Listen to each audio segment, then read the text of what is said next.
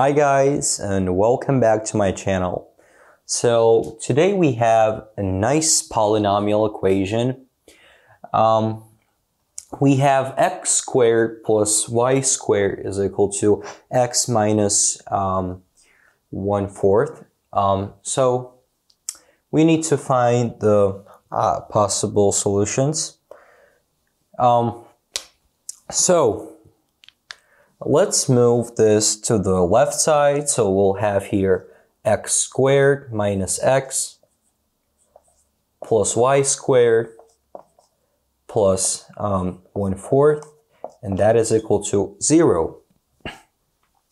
So um, let's say this is uh, ax squared plus bx plus c equal to 0. Let's say um, like here a is equal to 1, b is equal to minus 1, and here um, let's say uh, y squared plus 1 fourth is a constant. So um, let's solve uh, this quadratic equation here. So x is equal to um, 1 plus minus square root of 1 minus 4 multiplied by um, multiplied by y squared plus 1 fourth and divided by 2.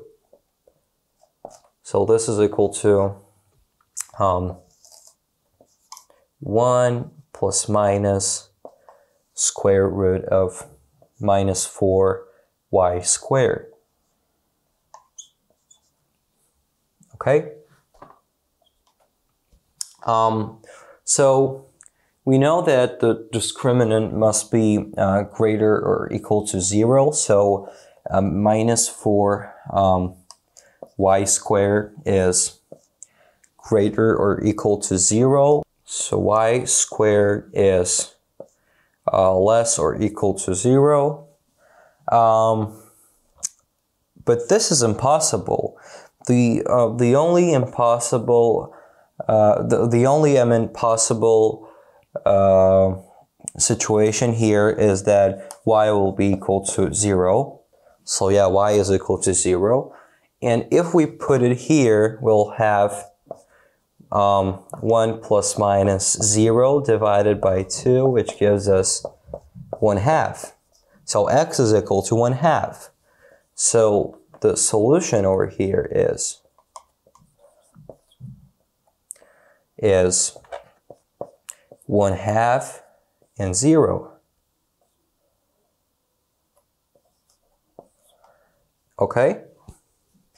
Um, so even if we put this equation here to uh, like to Desmos, um, there will be uh, there will be nothing like because there is nothing to graph.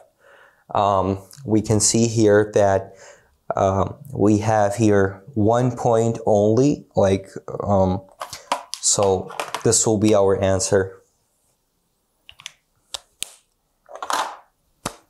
So I hope you guys enjoyed the video and don't forget to push the like button and subscribe my channel and see you in the next videos. Bye.